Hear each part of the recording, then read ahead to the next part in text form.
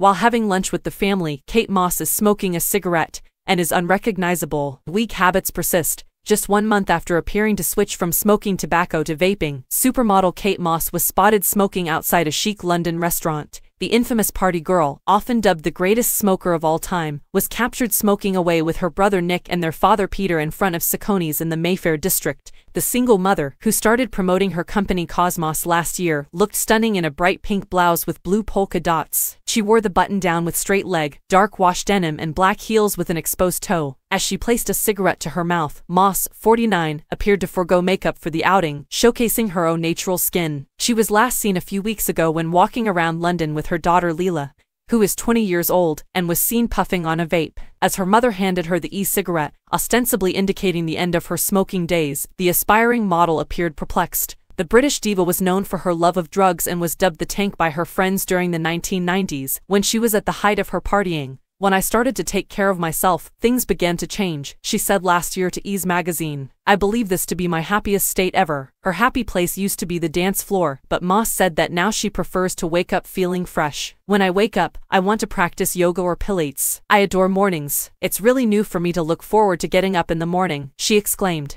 I actually get pleased about the fact that I have a packed day ahead of me. Now that work is so enjoyable compared to how it used to be, it is much simpler.